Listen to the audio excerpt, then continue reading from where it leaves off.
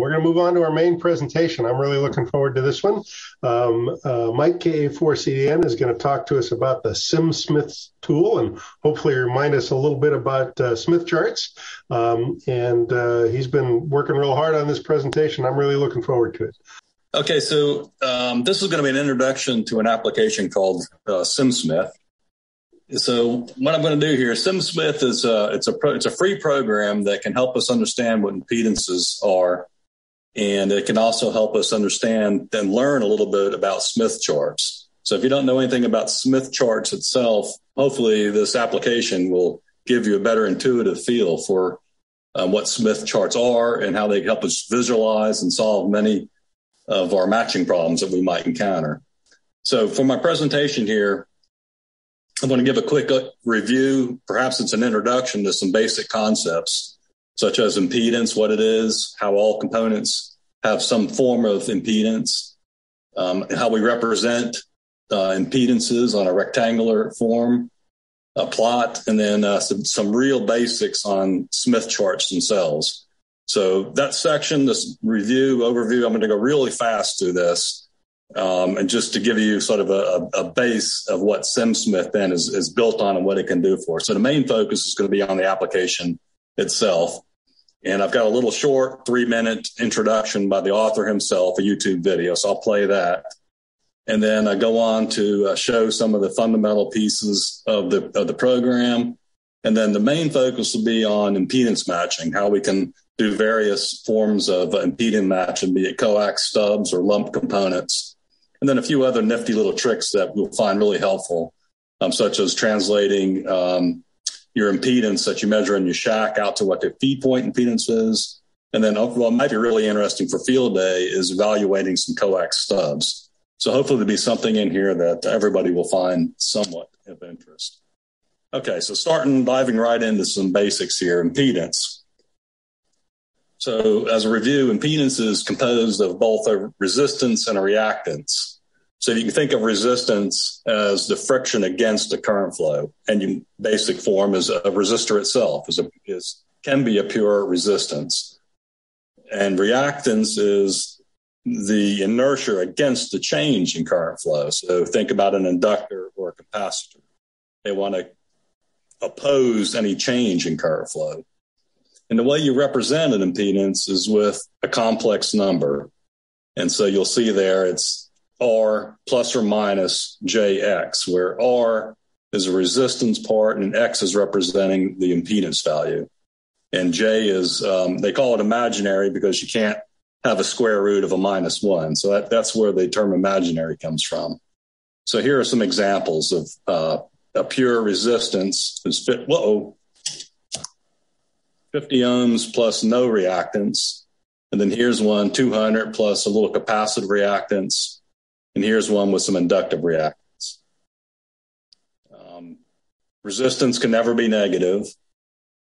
Reactance can be negative. In that case, if it's negative, then it re- represents a capacitive load, and a positive reactance represents an inductive load.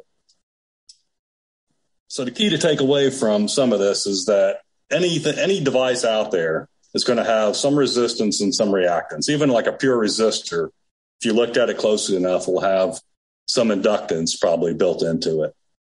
Um, if you're standing there and you're holding your handy talkie, if you can measure your body to relative to ground, you're going to have resistance to the ground. You're going to have capacitance to ground. So everything out there will have some resistance and some reactance. So impedance. So here's just an example. So here's a resistor. It's um, and so these are I- ideal devices. So an ideal resistor will have X equals zero.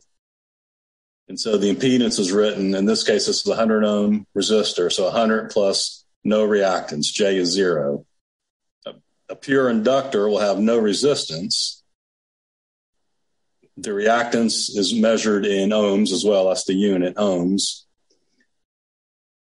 The, the reactance is based on a frequency also. So inductors will change with the frequency. So in this case, we have zero resistance and J is 100. The capacitor is J minus 100. And again, ideally, no resistance.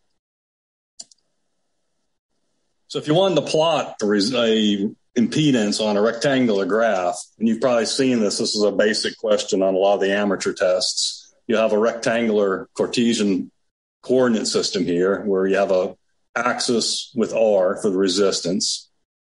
You'll never have anything over in these two quadrants because R can never be negative. On the x-axis here, or this is the y-axis, but represents the impedance. Positive will be inductors and capacitors will be negative down here. So all our points for capacitive loads will be down in this region. Inductive region will be up in here. And here's another depiction of the same thing, a coordinate system showing you've got X's seat capacitance down here, inductors up here. Uh, this is showing a ideal, a non-idealized inductor where it has resistance. So it'll be up in this quadrant and you'll have um, capacitive down in this quadrant. Now, I'm, I'm showing all this because it seems a little overwhelming. And hopefully, when we get through this introduction into basics here, you're going to see how Smith chart simplifies all this stuff quite a bit. Okay, one other thing to note here is so we have the inverse of impedance is something called admittance. And admittance, just like impedance is composed of resistance and reactance, impedance is composed of conductance and susceptance. And it's represented just like impedance is as a complex number, G plus or minus JL. So take a deep breath and look at this for a second. I'm just going to go right on past this. um, series components are simply, if you want to add them up, if they're in series, you just add up their impedances. It's really, really easy to do. So you think of a couple of resistors in series, right? 100 ohm resistance and another 100 ohm resistor in series is 200 ohms. You have two inductors. You put them in series, they add up. Uh, you know, um, but if you put them in parallel, it gets a little more complicated. So you have 200 ohm resistors in parallel. You got to add the inverses of them. If you have two of them, it's pretty simple. 100 and 100, it gives you a 50. You start having three, four, or you start getting, you know, capacitors. It well, not inductors. It gets a little more complicated. So hence my yuck. You know, you know, it starts getting hairy pretty quickly. So the other way to add things in parallel is to add their admittances. That's what the, the, the nice thing about an admittance is. If you know the admittance of your component, then you can simply add add them together just like you do in series. If you know their admittances and they're in parallel, you can add them together as well. So it simplifies things if you know the admittance. All right. So now just a quick review of, of uh, the Smith chart. Smith chart was invented by this guy, uh, Philip Smith. So some of the nice features about it, it easily converts impedances into admittances. And you'll find out on the Smith chart, a lot of this can be done fully graphically with a straight edge, a compass, a square. It's, it's, it's an amazing uh, thing he came up with. Um, it allows us to solve a lot of impedance matching using graphical methods instead of any complex math, mathematics. But what is really nice, it's really useful for visualizing where impedances lie um, in the domain and and how to how they cha- how the SWR changes over frequency ranges. So I was searching on the web to try to find some good information on Smith charts that I could present, and I, I came across our old friend Alan W2AEW, and I contacted him. He's got a really nice um, set of slides, a, PDF file, and I'm gonna I'm gonna go really fast through some of his slides. I got his permission to do that. He also has a video. Um, his video is about a half an hour where he goes over the same set of slides. So if you see something in here that tweaks your interest or you want to get a more in-depth information on Smith charts, I highly recommend you go to his YouTube channel and watch. And you guys know him. He does some really, really nice uh, presentations. So here's his his slides. Um, again, I have his permission to go through these. So um, he presented this as a as a technical coordinator to ARRL. So down here in the bottom, this is the Smith chart. If you guys haven't ever seen it before, and what it looks like.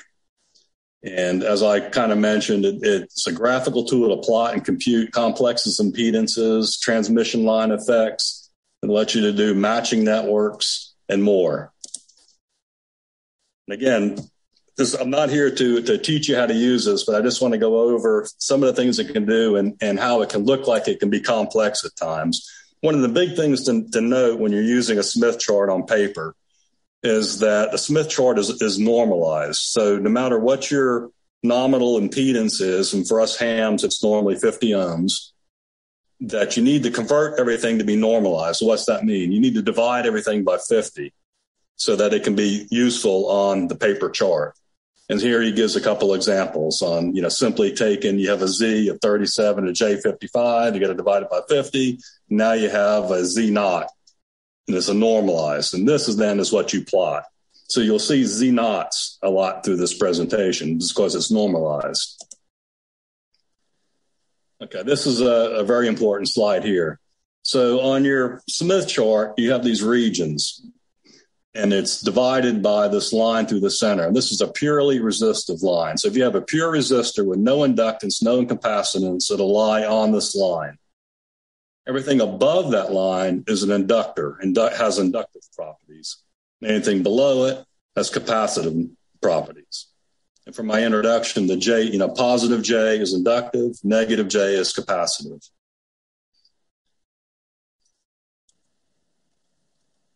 In the center of the chart, we have Z naught, right? So that's the normalized point. And you see, if you can read it there, it says 1.0 since it's normalized, that's our 50 for us hams, that's our 50 ohm point right there. On this side here, we have an open circuit. And then on this side here, we have a closed circuit. So as you moved along this line, if you could read it, it says one, like here's 0.5, here's 0.2, and here would be zero. And going the other way, I'm sorry, is open circuit. I'm trying to read it. Oh, 0.1 and then open. And then the other direction goes to zero. Okay, and here he's just showing you have on the chart, you have circles here that are all tangent to the open here on the open side, and these are co- called constant radius circles. So anywhere on this on these circles, these red lines, so represented on all Smith charts would be a red line And those are constant radius. So no matter if you're up here in the inductive zone, you if you follow that curve, your resistances are going to change. And so that, those are called constant radius circles. You also have what are called constant arcs here. You have reactance arcs. On the top side, any arc on these arcing lines, these are constant inductance lines. So no matter where you are on that line, your inductor value is going to be the same. Now, likewise, on the mirror side down below, you have constant capacitance lines. So no matter where you are on this line, your constant capacitance. What's nice about a Smith chart as opposed to a rectangular chart, no matter what impedance number you can come up with, any number, it can be plotted on the chart. Whereas with a rectangular chart, you know, you have to keep expanding your uh, your axes possibly, you know, out to infinity to get all points. But any point can be plotted. So here he's showing we have a Z25 plus J40. First you normalize it. Now you got your Z naught. And then you can go along this axis. You find where we have 0.5. So that's our arc there. So you draw a line and then you find the point eight, the J point eight is on the outside. You find it, come down, they intersect, and there's our point. Okay, so now if you have a point, you want to add a series element. You're adding series elements. So series elements, you're always going to follow these constant uh, resistance lines. So no matter where your point starts at, here's where we started, if you add series inductance, you're going to go up clockwise and follow that line around. And how much do you go? Well, it depends on how much inductance you added. And there's a there's a scale on the outside of this graph that tells you how far you're going to transverse. And so that's where you'd end up. If you're adding capacitance, you're going the other direction.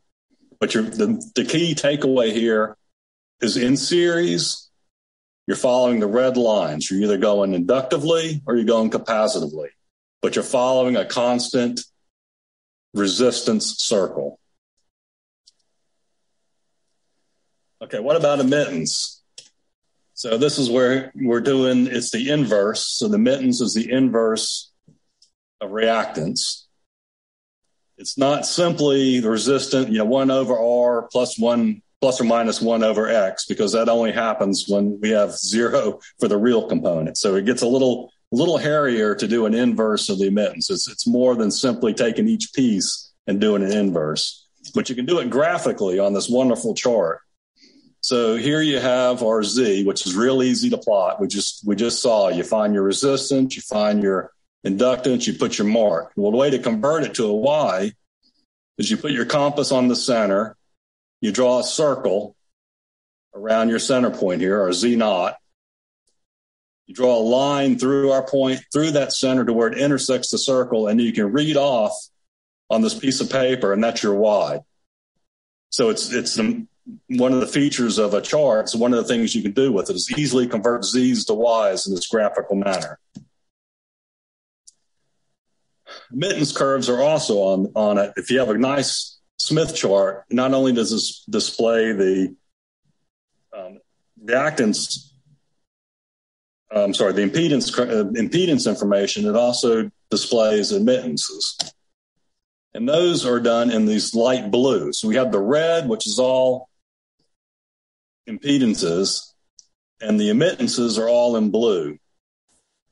So just like on we had constant resistance circles over here in red, we have constant conductance circles in blue, and we have constant susceptance arcs in red as well.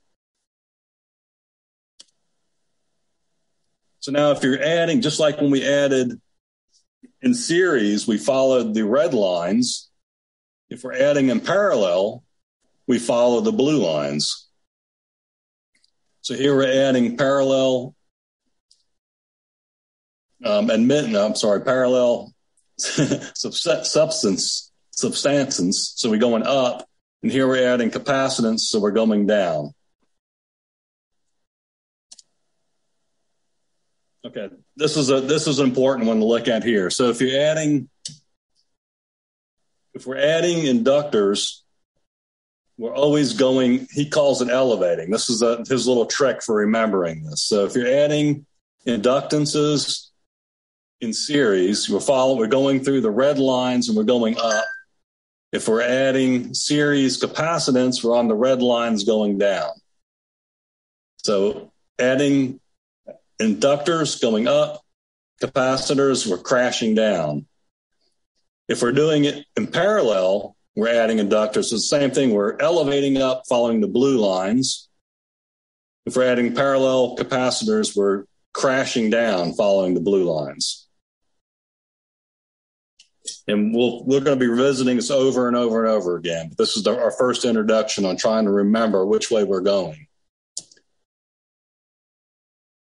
Another nice thing about this, the Smith chart is it allows you to convert from your or admittance or, or uh, impedances to things like SWR return loss by taking a compass, putting our point, swinging our compass around until it intersects the real line, using a square, dropping down at the bottom of the chart. There's these scales down here, which give us the SWR, gives us return loss, reflection coefficient, all these numbers you can get off of this chart. So again, this, the chart is an amazing tool it's just incredible. But you can see there's a lot of stuff it can do, and it's a lot you have to remember to use it. It can also figure out if you're measuring your impedance and you want to know what it is at some point along the transmission line, you can draw a circle around moving towards the generator. And each one of these, so one loop around this thing is a half a wavelength on the on a coax line, if you want to think and then your impedances repeat on your coax line. So if you're moving, you know, uh, half, uh, I mean, a, a fraction of a, a, wavelength around this circle, you might end up here. So that might be the impedance at your load.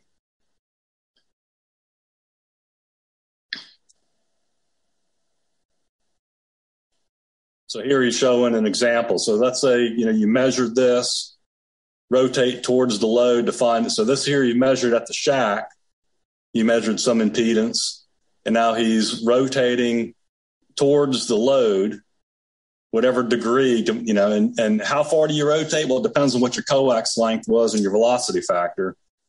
And on the outs, again, on the outside of this chart, you can't see it here, but there's, um, these out the very far on the outside are, are, degree marks. So these are wavelengths. And here you can see on this, oh, he's highlighted it here, wavelengths towards the load. You're going this way. He's got a little arrow here.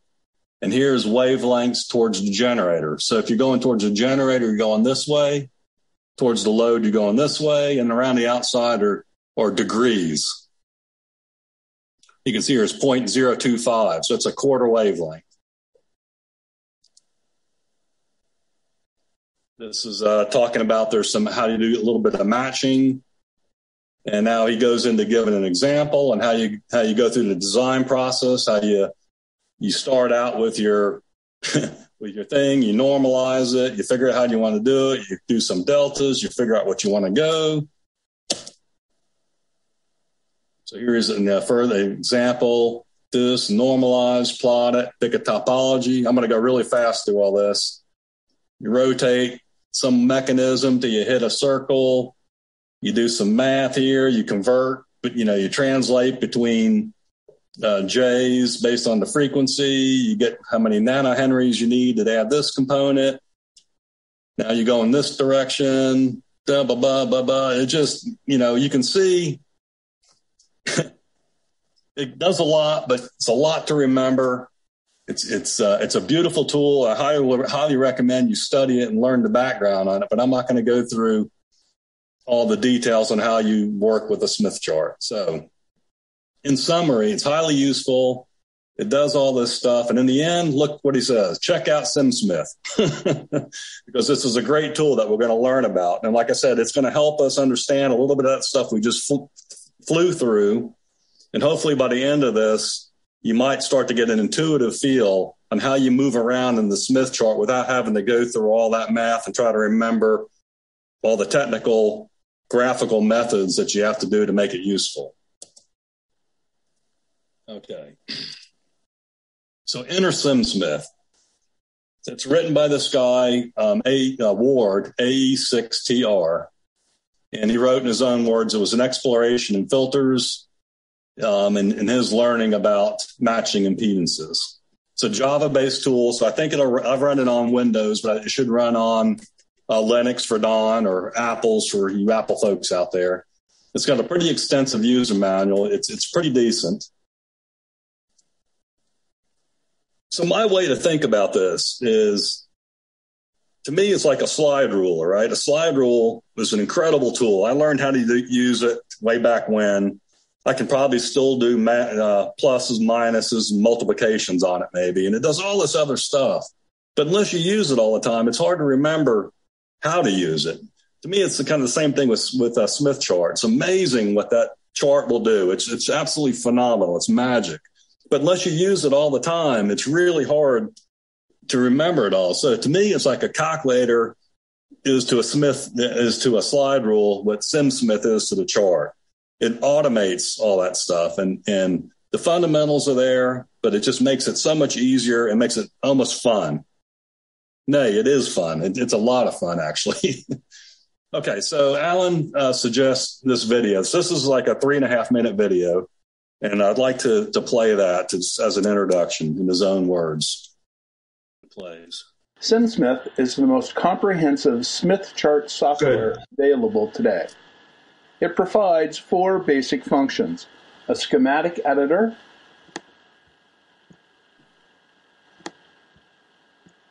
the ability to characterize components using files if appropriate,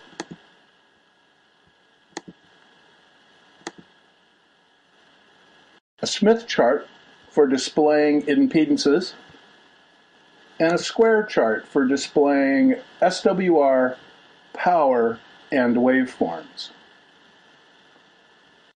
SimSmith circuits are constructed using the familiar drag and drop paradigm.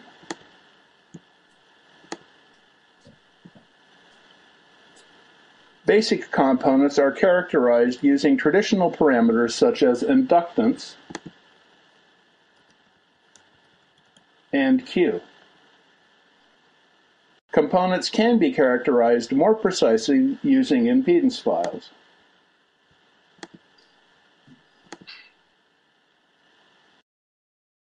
SimSmith circuit analysis can display the impedance transformation of the circuit at a given frequency, as seen here, or across a range of frequencies,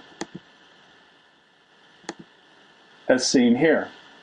The two plots can be combined.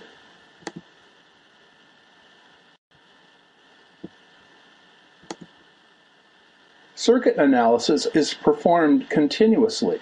This provides immediate feedback to the designer. Component values may be manipulated directly by editing their values,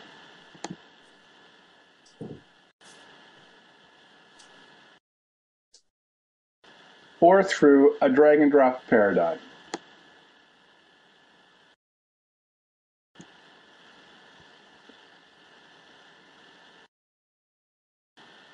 SimSmith allows the design of custom circuit elements. These elements can have any connectivity.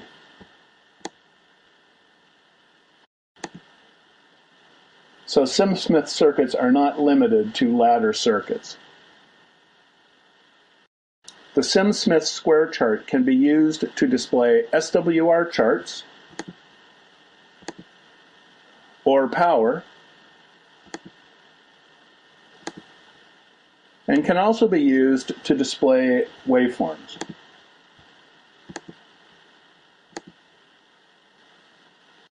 The waveforms need not be purely sinusoidal. SimSmith exposes its internal programming language. This allows the user to automate practices and test scenarios.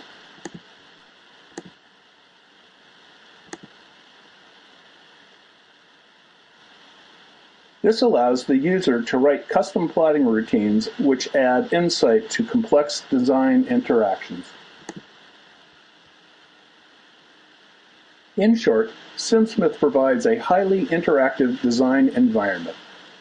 The computer provides the circuit analysis and grafting functions, while the user provides the creativity and insight necessary to achieve the desired goal.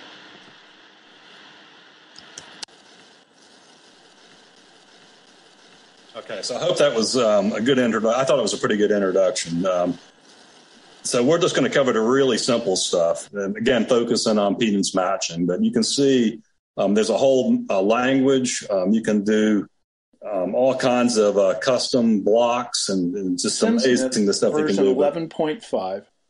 So the circuit model up in the left hand corner, um, I think you saw in his presentation. So up in this corner here is the circuit model itself. Um, there's a couple of nice uh, things to note here.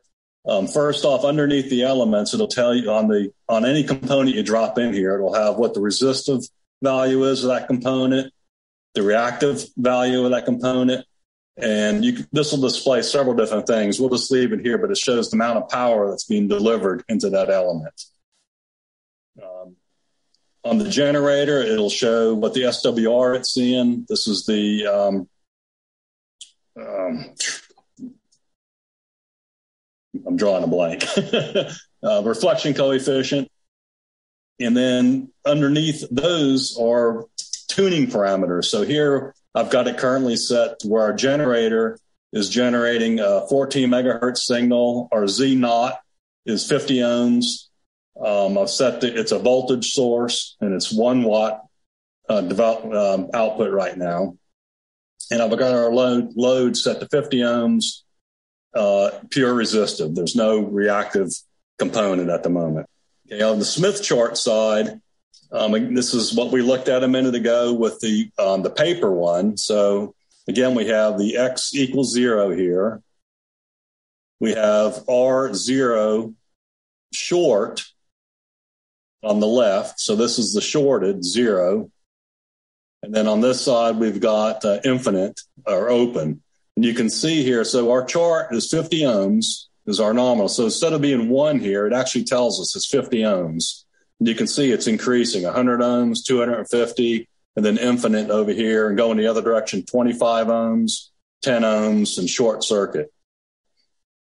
And then here are our red circles, our constant resistive circles. This dot here, I can click anywhere on the chart and put that dot. So it's nice. So you can see and down here in the bottom corner, you can see the SWR of where I've clicked and the, here's the Z. So again, if I click on the center, you can see Z is 50 ohms with no reactance. If I come on this circle, let's say I click here and I'm on that circle, 50 ohms plus some negative J. So we're capacitive because we're on the bottom, right?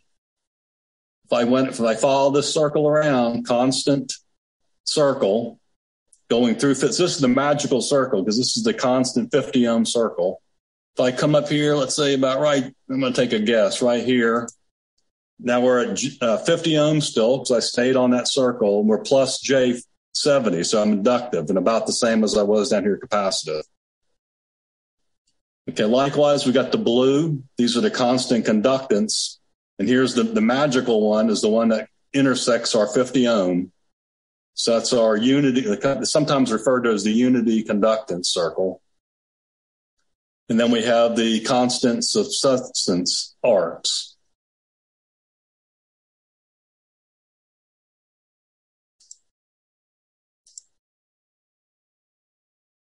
Okay, so to me, again, the Smith SimSmith is is a nice tool to help us understand the charts, them, Smith charts themselves, to help us to understand the effects of lump impedances, and a tool for understanding how coax affects our, our loads um, and uh, the transformation of our load impedance as we move towards towards our gener- generator. So I thought what I would do is we do some experiments here. So let's so we have our load up here and we have our generator. And then down here are our symbols. And this lower these are our ladder logic pieces that we can we can drop in. And this piece here is a transmission line. All right so if i drop a transmission line between our load and our generator we can see that um, first off the, the coax length here is defined here. And no matter what i put here if we look on the smith chart our impedance stays right in the center, right? And so we know, or we know it's not changing our impedance because we're fit, we're a perfect 50 ohms right now. So it's no matter where I put the length of that coax, it doesn't affect anything. Um, now I can also add in here a lumped. Let me get rid of this a minute. Let's add, add in a capacitor. So I'm adding in a series capacitor. And if you remember before, when we were talking about series, we're, we're right now we're sitting here at the center. If I add a series capacitor, what's it going to do? Right, it's going to crash. He's, um, Alan said crash. Remember crash in series, so we're following red line. So if I put a capacitor in here, we should we should crash from here, following a red line down. And indeed, that's what happens. So you can see what our load is seeing here has been trans, transfer, transformed from our center because of that capacitor. Now we're down here in capacitive region. Right? From what we talked about earlier, if we add an inductor in series, again, it's going to follow the constant re, uh, resistance circles and it's going to elevate. Inductor L elevate. So if I put an inductor in here, indeed we can see it elevated us up. And depending on the amount of inductance, depends on how far you can see how it's following over here. It's following as I change the value, it's following that constant resistance circle, circuit, circle.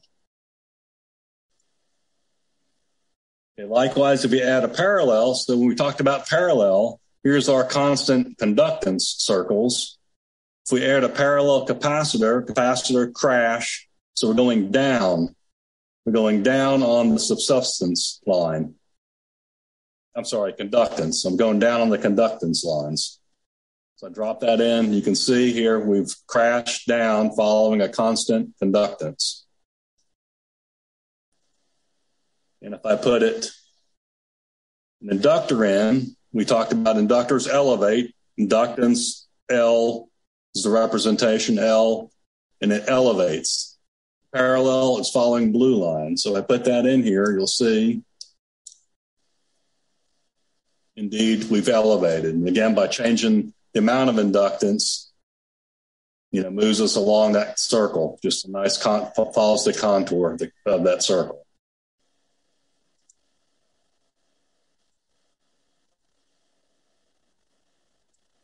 Okay, so now let's make it a little more interesting. Let's um, make it so our load is not purely resistive, right? We're not right now we're sitting at the center. So let's move it off center a minute by making this a capacitive load.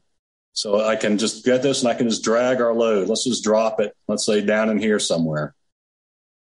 All right, so now we're or on the bottom side, so we're capacitive. And you can see here a couple of things. We can see our resistance now is 40.6. How, how do we see that on the chart? Well, here's again the, our circle. So we got 25 ohms is here, 50 ohms is here. So we're kind of in between. So yeah, 40.6 looks about right. Um, X is negative, so we're capacitive. The other thing to look at here is our, our power. Our power has dropped to 0.7 um, watts delivered. So we've, because of our SWR not being good, we're not getting a good power transfer. Let's add a piece of coax in here. So now we can see that the coax has transformed our impedance. What's it transferred it to? It went from 40 minus 57 to 15 minus 9. All right, so it's, it's transformed our impedance. Um, notice that it hasn't affected our SWR though. No matter what this length is, our SWR is going to it's going to change the same. So he, this little number down here in the bottom, you can put an SWR circle on here. That is a constant SWR circle. So anywhere on that circle, I just set it to two, an SWR two to one. Anything on that circle is going to be an SWR two to one that our load will be seeing. Right now, you can see our load is seeing an SWR of 3.3. So it's outside that circle. Let me do this. Let me set this to 3.3. All right, so you can see that our load now has moved along because of that coax length, but the SWR hasn't changed. Let's go ahead and start increasing the length of our coax. The SWR doesn't change, but the reactance is, right? So we've gone from down here where our reactance was capacitive as we added, we've added coax. Now we're inductive. We're on the top side of a chart, and it just keeps going around and around, and starts repeating itself. Also, notice it's spiraling in. Why is it spiraling in? Well, because our coax has loss. So as we're going around and around, we're starting to lose more and more power. You can see over here, our power delivered to our load now is down to 0.6. Like if I keep going, longer and lower coax. Let's go 180 feet. Now we're down to 0.5. All right, so you can see how the coax is, is chewing up our, our power. Okay, so I thought what I would do now is to, to show some mashing that we can do. And to do this, I'm going to, I did a study a couple of years ago on something, an antenna called an extended double Zepp antenna. So I figured I'd use that as a, a good example on how to match stuff. So we'll look at what a double Zepp is, look at some properties from the model, and then review how we can do some matching with it. So this is a, an extended double Zepp. And I have a reference here. This W5JH has a really good paper. It was in QST um, 10, 10, 15 years ago. But what it is, it's a it's a, a long wire. It's it's 1.25 wavelengths long, center fed, and the typical deployment uses a ladder line matching section to get it to 50 ohms back to the shaft. Because at the feed point up here, and I'm going to call this the feed point, it's a very um, reactive. It's a, big capacitive load up here. So this ladder line should, in theory, get us to uh, 50 ohms with no reactance. And here's a plot of what this uh, what this antenna will do. It, normally, it has um, a decent amount of gain over a dipole, which is why I was interested in looking at it. Okay, so what I did was I modeled it in uh, EZNEC, and we're going to be playing with it at 14 megahertz. I've got it half a, a wavelength high. Here's the SWR plot, and you can see their SWR is very, very high. It's uh, 63.1 to 1 and the impedance is uh, 89.7 R minus J 522 almost. So again, very, very uh, capacitive load. Here's what the uh, the current on the wire looks like, uh, the radiation patterns, and my model is matching what uh, what the paper said. So I feel pretty good that the model is is correct my impedance is matched what the what the what the paper had. Okay, so get rid of our coax. So we've we've got a blank file. So one of the nice things you can do is we can put in the right here. We can put in what we saw. We had basically ninety, and we had minus five twenty two. So here's our point. All right, so if I put the point and I click on it, you can see down here is our SWR of roughly six, 63. So that kind of matches up. But one of the really nice things with um, with SimSmith is is rather than typing that in like I just did, you can actually select a file. So um, EZNEC uh, puts out a impedance file, and that is this file here. So I can just pull that file in directly and it has all the impedances over that sweep that I did. You can also bring in uh, S12 parameters, touchstone files. Like if you have a nano VNA or something that makes touchstone files, you can also bring those in. So if you have an antenna model now, which we have, this our load now is is uh, matching what our model has predicted over a frequency range. Um, let's see. So we can see here the power delivered to our load is less than 62 uh, milli, milliwatts. I can change, let me change this to 100. I can put in here 100 watts.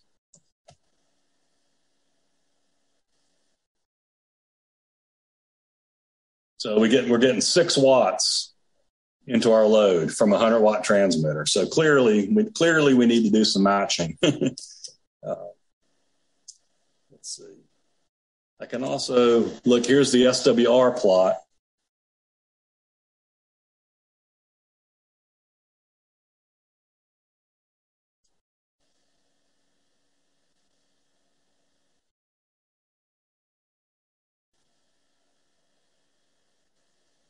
Let's see, what am I looking at?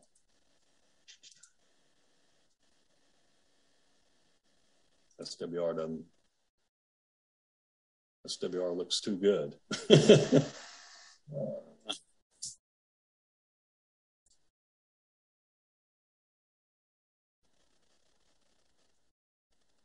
I'm confused for a minute. Give me a second. Uh, let me think here. Okay, there we go. There we go. There's the SWR chart. So again, this is what we saw from EZNEC. So this is on a rectangular plot. Our SWR is 63 to one, and our load is uh, very reactive.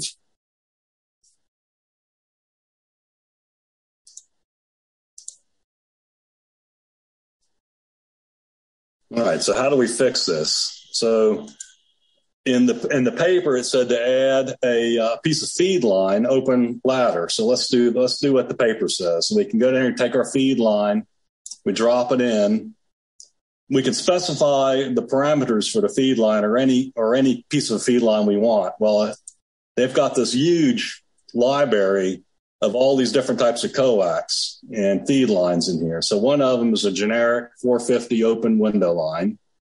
So I can select that. You can already see it, it moved our point here from our our model, moved it along, and now we're here. So I can start increasing this length.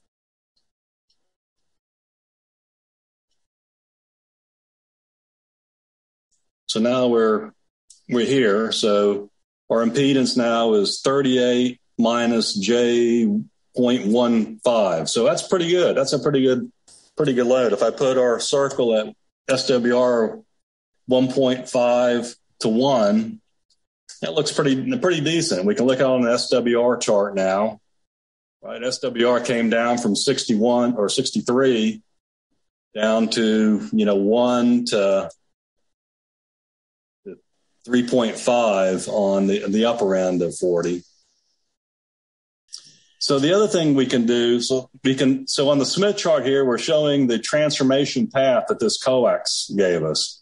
We can also sweep it over the frequency range. So here, now what I've done now, if I switch from tr- what the transformation was to sweeping from 13 megahertz to 15 megahertz. So this is coming out of the EZNEC file that I generated.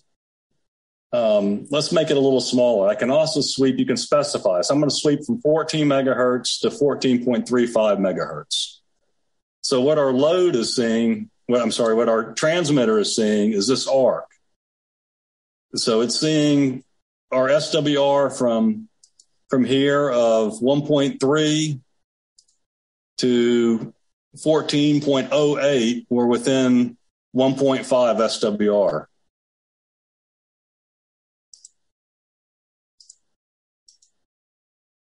our load went from here to here over that range. So immediately I can see, well, I don't really like this match that much. So I can go over here to my transmission line and I can adjust the length of that, that feed line. Let's say I want to center it here. So with using 8.2 feet of window line, now I'm in this range. My SWR looks like this over that range. So that's you know, that's probably, I can maybe deal with this. Let's see, I can change this.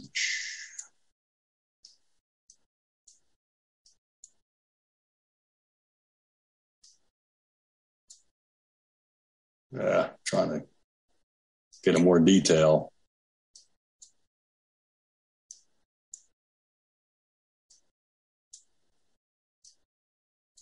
Okay, there we go. So you know, maybe that's an acceptable solution for this antenna for, for what you're trying to do. Okay, the next thing we can do, this is where things get a little more interesting perhaps, is we can match it using uh, coax stubs. So the general principle of, of matching this is what you want to do is insert your stub at the place where you so you're gonna you're insert and transmit you're gonna insert a, a series transmission line. You're gonna put your transmission line on. You're gonna find out where your tran- along your transmission line you're gonna intersect i'll call them these magical circles. So the first circle that we're interested in is the constant unity resistance circle the other circle of magic is the constant conductive conductance circle of unity so that's these two circles. This blue one's the constant conductance unity circle. Again, they intersect our nominal impedance. And then the resistance one, again, the magical one is the one, the unity one is the one that intersects our nominal impedance. So as I add coax to our model, so we'll say add a piece of coax in here, and we'll add, we'll make it um, RG uh, RG what RG8X say. We look at the path. So here's the path. I've already I've, by adding that piece of coax in there, I've moved our impedance from where it was with no matching down to here. So if I add, keep adding coax, you can see we're going around and around until I get a full half wave and I end up back where I started minus loss, right? So that's a full half wave of coax between my load and my transmitter. During that revolution, we've crossed the circle, these two important circles four times. We crossed it here on the constant reactant, uh, constant resistance circle. We keep getting along the coax further and further, heading towards the transmitter We hit here. This is our constant conductance circle. We hit it there. We keep going. We hit it again here. We keep going way, way over here. We hit it again up here. And that's what I've marked here with these, tried to mark with these arrows. So these are the four places where we can consider placing the stubs before this whole sequence repeats again. So the first place where we get the first intersection is here, and that is at 8.6 uh, meters. Um, currently, I'm in feet, so SimSmith will let you set your unit. So I'm going to switch to meters. You can also go inches, centimeters, feet, back to meters. So we'll go with meters. And what did I say? It can't be eight meters.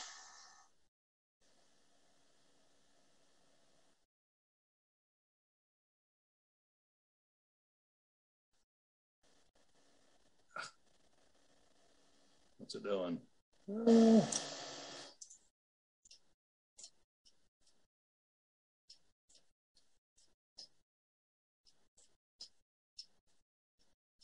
must be 0.8. It's not even that. Okay, there we enter. So here's our first point. So, and I can zoom in on this if I wanted to. Okay, so you can see here we've intersected this constant resistance circle.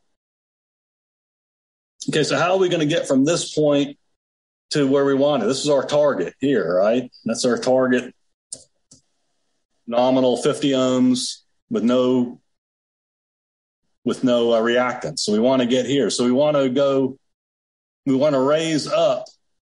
We want to go this way around the constant resistance circle. So we're on, we want to go on a red line. so that's a series. So we're going to want to add some sort of series element in here. Okay, and it wants to be an inductor because we want to raise up. So if you remember, I thought I had a slide in here, but uh, an inductor for coax, um, a shorted coax less than half a wavelength acts like an inductor. So if I take a, a shorted piece of coax, and I drop drop it in here. What happened? Go RG8X.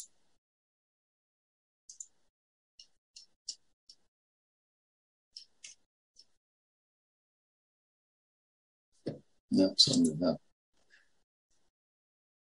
Oh, that's that's yep, parallel. That's not series. uh, I made I, I was putting in a parallel. This is a series inductor, right? So it's a series shorted, acts like an inductor, and you can see here I've started moving. So there it goes. And then again, SimSmith allows you to this drag and drop that he was talking about. So I can fine tune this by just pulling this point over, drop it on our center, and there's a solution. So if we added a short piece of coax from our antenna that's 0.17 meters long. And then we added a series shorted piece of coax stub that puts that matches us right away. All right, so that, that's one possible solution. Um, let's see, the next possible solution is to continue along adding coax until we intersect this line. Okay, now we want to come up on the constant conductance circle. So we want to raise up. Well, let's let's do, do this first. Let me go all the way around to the other solution on the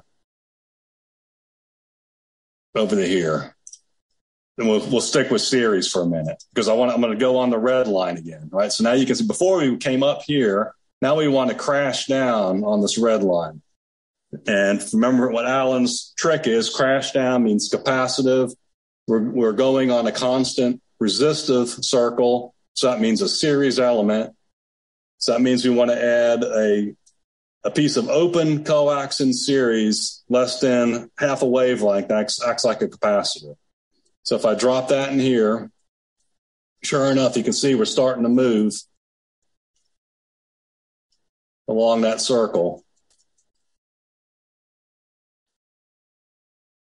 Right, so there's our second, that's our second of four solutions. Both of those are series solutions. We've added series stubs. Has anybody tried to put a series stub in a piece of coax? it's not real easy. So it's been done, stubs, but it's tough. Yeah, it's not. It's not a great way to go. you have to use a um, T T adapter. well, for a T would be good for for parallel, right? But um, yeah. you know, if you had ladder line, it would work pretty. You could do this. So let's let's look at the other solutions.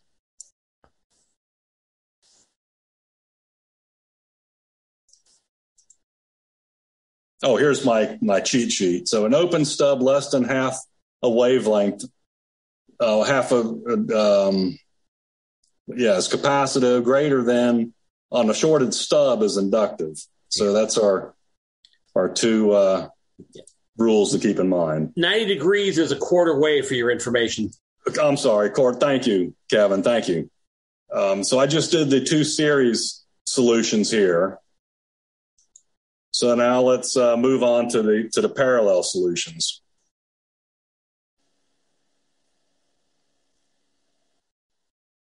Okay, so if we back our, our coax back, the first one here on the constant conductance. So now we're going to concentrate on these blue constant conductance lines because we're talking parallel. So the first solution will be this first intersection at 3.6 meters, and I want to raise up. I want to elevate up on this circle. So elevate up means inductance again. Inductance is a shorted piece of coax, less than a quarter wavelength. So I drop that in there. You can see it's now moving along this arc here. And there we've matched it using a, a parallel stub. All right, so that's what that's the next solution we've got. And then the final solution using stubs is we keep coming a little little longer down the transmission line till we hit again the unity conductance circle. And now we're going to want to crash down because we're coming down through this, down on the circle. So that means implies by Alan's little trick of the mind is capacitance. We're crashing. We're on a blue, so that's parallel stuff. So we're doing a parallel. So here's an open piece of coax. Drop it in parallel. And we can see there's our solution. All these solutions when I looked at them. So right now we're looking at the this path. We're showing the path. But what about over the frequency range that we did this? So if we switch this to, to, to a sweep, this is how the transformation looks over the frequency range of 14 megahertz to 14.35 megahertz down here. Let's put an SWR circle, two to one. There's a two to one solution. So for two to one solution in the center at 14 megahertz, we're about one to one. By the time we leave the two to one SWR, we're at 14.12. And then from 14.12 to 14.35 over here, we're outside that. Well, maybe we could tweak these lengths a little bit.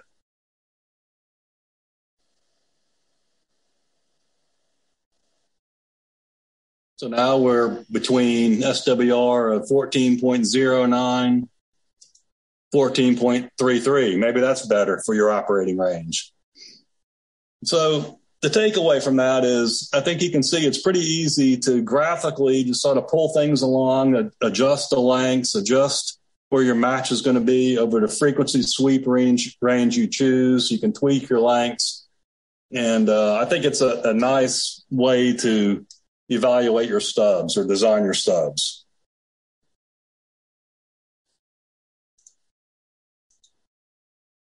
Okay, the next thing we might want to be interested in doing is instead of using stubs, what about doing uh, fixed lumped um, com- components to make our, our, our circuits.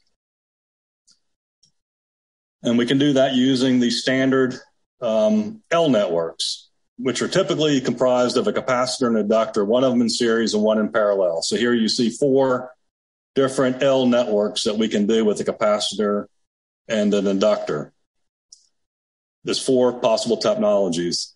Um, so each one of these can only transform our impedance over a given region. There's regions that you can't re- you can't get to the center from. So and those are called forbidden regions. And each one of these circuits has its own forbidden region. For instance, this one here, if you're in this lighter area, anywhere in here, if you use this circuit, you can transform and get to our center, our, target. But if you're in the forbidden region, no matter what values you pick, you cannot get from this region to our, our target. There's no way to do it. Likewise for these other, these other three. In addition to these, there's also capacitor capacitor networks or L networks and inductor inductor L networks, which I'll, we can see on the next slide. One thing I did want to point out here is a lot of times when you're doing research or you're looking at these um, depictions of, of uh, networks, even on Smith chart tutorials or whatever, they'll have the load on the right and the source with the generator, transmitter on the left, antenna on the right. Smith chart does it the other way. So um, if you're looking at this and you get confused, you just uh, check yourself and make sure you're thinking about which side is is what in the topology. Here's another depiction of the uh, the Smith chart regions. I wanted to put this one on here because it depicts it slightly different, and it also includes the the two inductor regions. So, for instance, um, if you're in this region here and you want to get to that center, you can use a type A or a type C. So you could pick this as your matching network, or you could pick this as your matching network depending on your characteristics of, uh, you know, one of these is going to be a, a um, low pass and the other will be a high pass solution. Might not matter if we're just matching an antenna, but if you're doing a circuit, you know, you're coming out and you're matching to an audio board or something, you might want to use a low pass. If you're going to, uh, you know, an RF amplifier, you might want to use a high pass. Here's this region four down here. It looks like kind of a cat smiley cat face or something. That matches with G and H. So there's two regions. Uh, sorry, is the region the G and H will match down here. Capacitive, if these were capacitors, they would match this region three. Um, they're not depicted here either. Okay, so for our load, um, I put a green dot on uh, on our chart where we are. So these are our two networks that would match. Okay, so we're back. I'll do the path. Um, okay, so the first one was showing a, uh, an inductor next to our transistor. So if I put it, drop it. So the first solution is we're going to come down and meet. Um, let's see, put an inductor in parallel. So we're going to swing around, hit that first line. So we do this. down. So inductor meets. So I added an inductor. We followed in parallel. So we followed a blue line, which isn't printed on our chart, but we followed a circle until we hit the constant resistive line.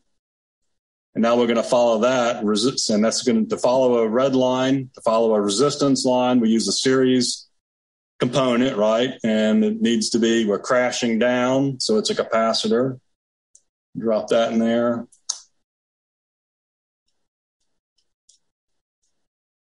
You can see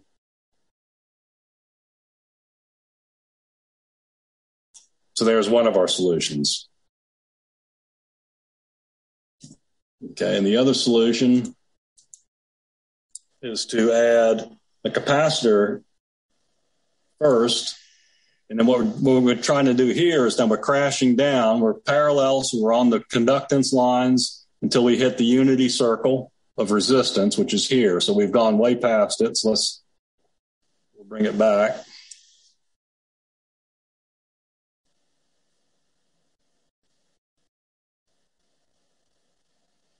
And then we add an inductor in series to follow. So we're now we want to follow the constant resistance line. We're elevating, so that's an inductor.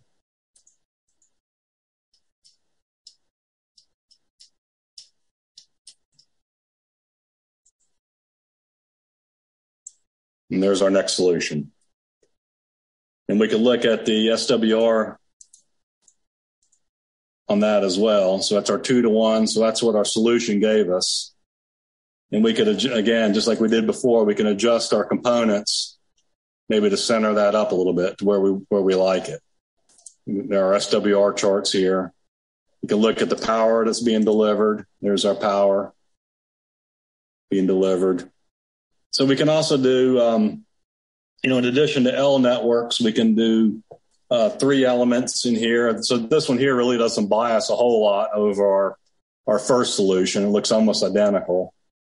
This one here is interesting. So we have a T network here, uh, a inductor, capacitor, inductor network. And what's nice about this is it um, it's it, it, it keeps the Q down uh, closer to within a, a Q of one. I won't take the time to show it, but um, that's one of the advantages of that particular circuit. Okay, so that's that's some of the basics of uh, of, of matching, and I hope um, if you get to play with this, I think if you play with it a little bit, you'll see it, it gives you a real intuitive feel for how to match stuff. And I think you know once you do that, you have a piece of paper or you look at your nano VNA and you'll see where your load is. When you look at it, you can pretty much instinctively, after you play with this for it's like a video game, you'll say, Oh, I know exactly how to match that. I mean, it just becomes intuitive after you play with it a little bit. Um, it's, it's really a great teaching tool, I find personally. Because the next thing, let's say you've, you, you've, you've deployed your antenna, it's up in the air, you think it's good, you've got your coax running to the shack, you stick your nano VNA in it, it tells you what the SWR is. You know the SWR is correct because we saw SWR doesn't change with coax length, but what is the actual feed point impedance?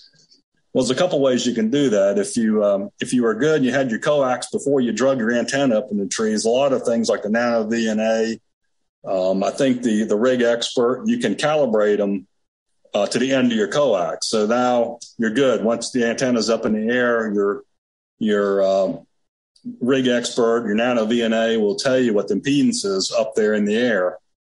Um, but the problem is you got to keep that all around as a reference. Well, the, the alternative is if you know what your coax length is and the velocity factor ahead of time, and you keep that, you keep a record of that, um, at any point in time, you can measure in your shack and then back out the length of the coax, and you can do that with a Smith chart, uh, with a Smith chart, pretty easily. And Alan touched on it in one of his slides, but you can also do it really easily with uh, SimSmith.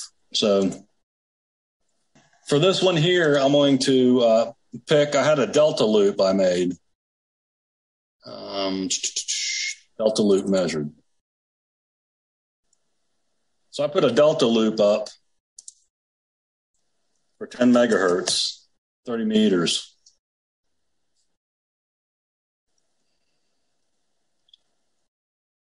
And I measured it in the shack. And this is what um, what I got in the shack. So this is, uh, see, I got the two to one SWR circle here. So I'm, I'm better than two to one. My SWR curve looked like this. So obviously it wasn't real good. I have since then fixed it. It's a little better than it was. But so my resident in the shack, it's saying 9.9 was my best SWR. Uh, SimSmith, by the way, I don't know if you noticed, but there's these color bands. So it'll actually put a color band on the ham radio uh, frequencies, which is which is kind of nice. Um, there's my my power being delivered. So if I put an X here, my power at 10.12, I'm getting 93. Um, well, that's not actually true because this is this is measured in the shack, and I got no coax. So, okay, so what? So how do I know what's out at my actual antenna? Because again, this is what I measured in the shack. What I can do is take a transmission line drop it in here. I know in this particular case, it was RG 58U or CU is what I ran. And I had a hundred, I had a hundred feet of it.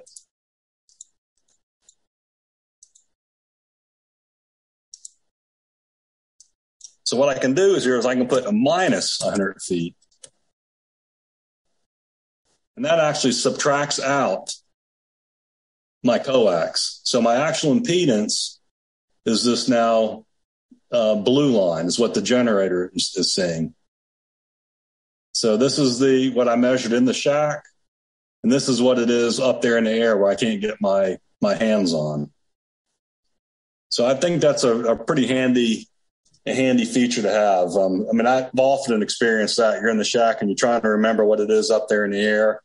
So if you have your coax length, you know what your velocity factor is. Um, you can always back it out really easy using SimSmith. It's pretty handy for that. Okay. The last thing I wanted to talk about was evaluating uh, coax uh, stubs. So we've often talked about this for field day. You know, what can stubs do for us? Um, are they are they going to help us at all for various situations? So I thought I would just demonstrate um, the value of a stub. And I, I picked here to look at um, a 40 meter 40 meter stub. So let me uh, get rid of this we'll get rid of this load here and we'll just put in here uh, ideal load. So we're sitting here in field day. We have a perfect antenna hooked up to our transmitter. So let's say we want to filter out, um, we want to pass 40 and 15 and null out 20 and, and 10. So from that prior chart, let me go back to that a minute. So I got this off of uh, the website here. I gave them credit, but this is the one we're going to implement. A quarter wave length, 40 meters shorted stub is supposed to pass 40 and 15 and null out 10 and 20. So let's just evaluate that.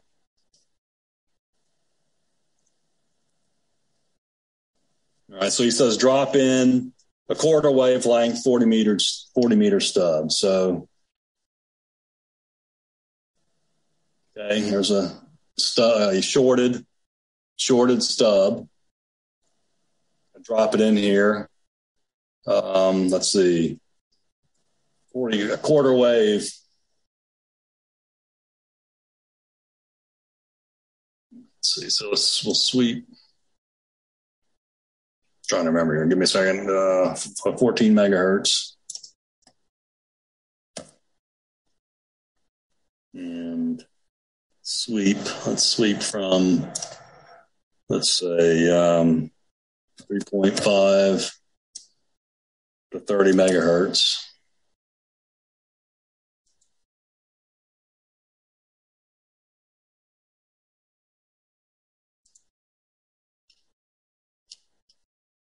Let's see, a quarter wave, 14 megahertz. Somebody off the top of your head know what that is? Let's see four, six, eight. 16 point something feet. Good job, Lee. 16.5 feet. Let's look at that.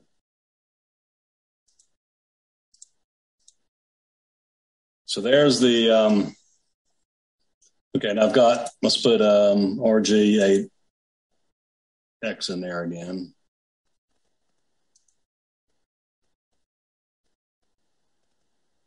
So is that what we got? So we're passing 40. Where's 40? 40 is, is in here.